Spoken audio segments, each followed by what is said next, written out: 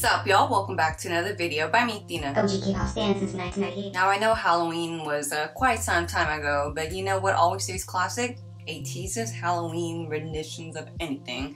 So uh, today I'll be checking out their Deja Vu Halloween rendition. I actually have not checked that out yet. Speaking of ATINY, y'all ATEEZ know that they have announced their whole uh, tour resume thing.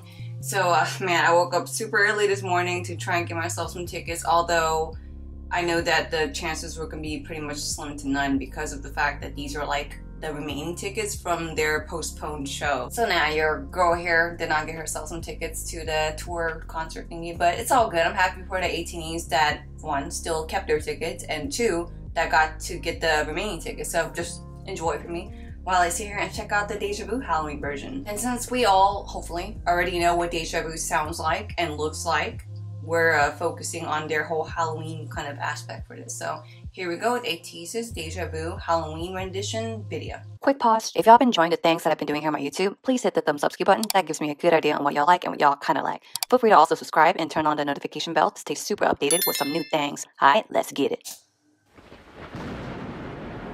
Yeah, vampires. I, I figured from the thumbnail. Whoa, okay, Yeosang. He's like walking with collar popped and Ooh, I like that. Wow. Yeah, Victorian vampire-ish. I like it. Okay, conductor, vampire. Yeah, Yeosang's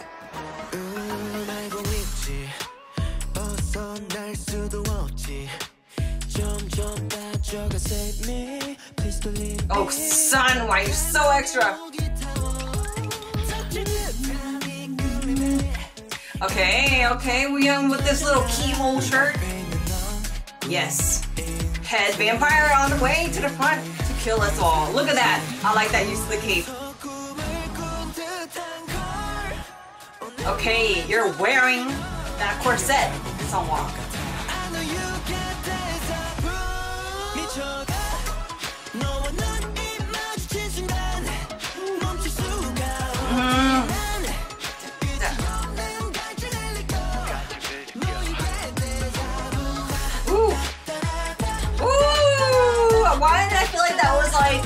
More smooth. Okay, and Yunho's little hits are more sharp. Mm.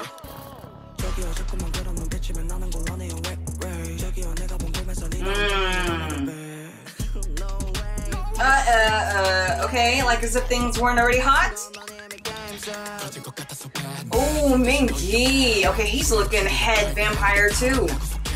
Oh, yo, he added a, a body roll there. Oh. I, I just love how dramatic this part is in the song.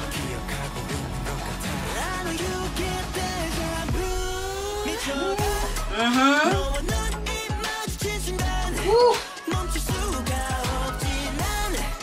It's like the more I see the choreography, the more I just love it and love it and love it. okay, what kind of laugh is that? Oh, Wooyoung. Oh, what? Okay, at this point, they're just, I think they're purposely wanting to figuratively kill us. Look at some wall.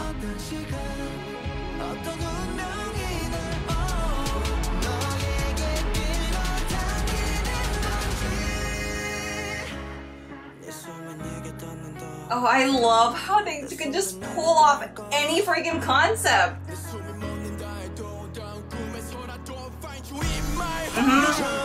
Son's spin is so sharp. Clean, yes. The Halloween claw.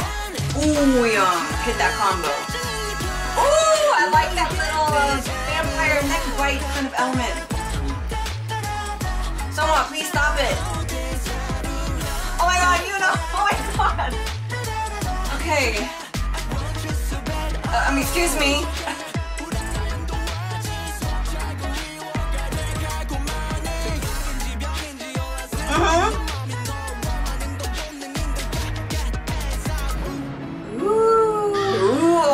damn bird so loud.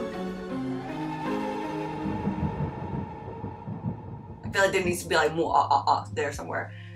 but it's okay. We had uh, Hongjoong's laugh in the track, so it's all good. Yeah, I love that ATEEZ can just pull off any concept. Obviously, that's obvious, but I'm gonna state it anyway because I feel the need to. Some, I mean, imagine somebody asking me to be like, "Hey, can you uh, perform this song?" and but you gotta be a vampire and you gotta make yourself look like you want to like kill them. It's like I wouldn't know how to do it without being like a big ass cringe fest. Versus them, they make vampires like as charismatic as Robert Pattinson made Edward Cullen in Twilight. They had so much swag and added the whole vampire aspect, like that whole thing uh, where Wooyoung and San come together. You know, we uh, they did that originally, and I believe that was from Hala Hala dance.